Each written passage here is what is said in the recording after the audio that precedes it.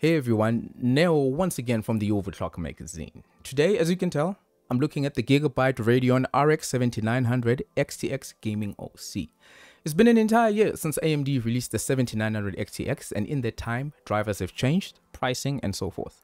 As is, the 7900 XTX has never been better, so without further delay, let's just talk about the Gigabyte version and how it stacks up right now at the end of 2023. This is one of three 7900 XTX models from Gigabyte, the most premium one being the Aorus Elite, which is clocked substantially higher than this model. And then there's also the vanilla version, which is the same card as this one, but just clocked 25 megahertz less, if you would believe that. That said, the gaming OC should be more than capable of reaching the clock frequencies on the Elite card. The only difference is that you would be doing a manual OC instead of an automatic OC. And pricing wise, this card is currently selling for 27,000 Rand at Progenix and 999 US dollars on Amazon. Locally, this puts the gaming OC card in competition with the GeForce RTX 4070 Ti, whose review you can check out in the link below. That aside, I expected the gaming OC to feature three 8-pin power connectors and to be rather large. Fortunately, it only required two connectors and the card is relatively slim for a premium product at roughly 5 centimeters in height 33 centimeters in length and about 13 centimeters in width. So naturally, this should fit in a lot more cases than the Elite model or other brands which have larger cards. The gaming OC features, as you would think, a dual BIOS option. So we have one BIOS for quiet operation or quiet mode and another one for performance mode. I tested the card in quiet operation, reason being the performance BIOS didn't add any useful performance to the card to be honest and all it did is just increase the noise substantially. Visually, the card looks similar to many gaming cards from Gigabyte of late. The design is relatively basic and save for the lighting on the Gigabyte label, there's not much to look at, I'll be honest. Do not get me wrong, this card still looks great in any system, but in as far as style and flair goes, yeah, it'll not be turning any heads, certainly not yours. Without further delay though, let's get to the performance, which is why you ultimately buy a graphics card. First up, we have 3D Mark ray tracing tests in Speedway and Port Royal. In both tests, the XTX beats the 4070 Ti, but the margin of victory is diminished in the more advanced Speedway test. Regardless, according to 3D Mark, the 7900 XTX is superior in raw ray tracing performance. In 3D Mark Time Spy, we pretty much see the same thing, but the margin is greater. In pure rasterizing performance, the Gigabyte 7900 XTX is up to 27% faster than the 4070 Ti. So with that out the way, the first game we test is of course Cyberpunk 2077 with the latest update. This game features all the bells and whistles when it comes to image reconstruction, ray tracing, path tracing and all that good stuff.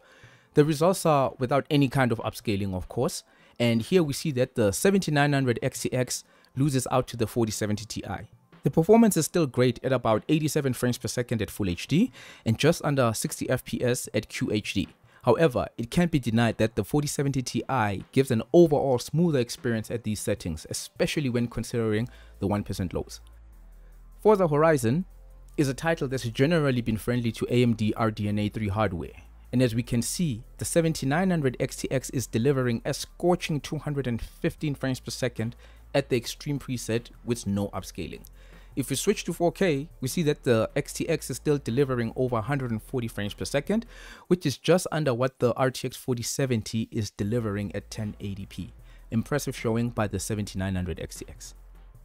Next up is Hitman World of Assassination. Here the RTX 4070 Ti takes the lead again, most certainly because of the use of RT with no image scaling. The performance advantage of the 4070 Ti is relatively small at just 6 frames per second at 1080p and 11 frames per second at 1440p.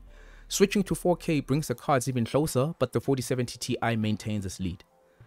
And next up, we have Metro Exodus, the Enhanced Edition. As one of the first RT titles we had, it's getting a bit long in the tooth, but remains a challenging title nonetheless when no image upscaling is used.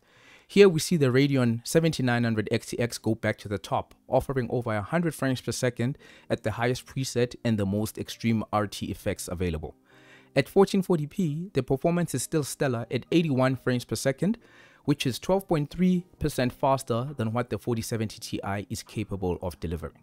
And at 4K, the game is still too much for even high-end cars and we can see that even the mighty XTX, while still ahead, is not able to get to the magical 60 FPS mark, instead is reduced to just 46 frames per second. And then the last game I tested is Assassin's Creed Valhalla. This title is a walk in the park for most graphics card and the 7900 XTX proves just as much with over 200 frames per second at 1080p, well ahead of the 4070 Ti, but honestly at this point it's really academic. I mean even at 4K, the 7900 XTX is able to deliver over 100 frames per second and extend this lead over the 4070 Ti by 25%. Okay, so now I'm going to switch it up a little bit. We have Unigine superposition, another synthetic test or benchmark, which actually should have been in the beginning. But anyway, this test is a reminder of just how rich and how capable the DX11 feature set is. A beautifully rendered benchmark, which again puts the 7900 XTX ahead of the RTX 4070 Ti by almost 26%. And if you recall, these are similar margins to what we saw with Assassin's Creed. Last, we have temperature and power consumption under gaming. Now keep in mind that I'm using quiet profile here, but even then 69 degrees Celsius is pretty much respectable. Power under gaming, when frame rate isn't kept, is around 325 to about 327 watts. The 7900 XTX can draw significantly more power than this when overclocked, but as you will see in my overclocking, I am willing to increase performance but not necessarily willing to exceed the default TBP or total board power. You can do this by undervolting the GPU, creating some thermal headroom for higher clocks, but at the same time, you can keep the power limit the same or even dial it down so that you can essentially reduce power but still gain better performance, which ultimately means that you can actually save yourself a lot of power if you're on battery backup, as many of us are now in SA given the electricity situation or challenges that we face. Overall, I'm rather impressed by the performance and the operation of AMD's flagship 7900 XTX GPU. There's probably better value for money to be had in the likes of the 7800 XT, but if you have the means and are after some high performance gaming at 4K with limited RT effects or none at all, this just may be the GPU for you. I mean, it looks the part, price isn't as low as other brands, but it's still within the realm of reason as many 4070 Ti cards actually sell for the same amount and this one in particular that actually sells for more. Anyway, let me know what you guys think of the Gigabyte Radeon RX 7900 XTX below. Remember to share, like, or subscribe if you haven't of course. But until then, take care of yourselves and peace.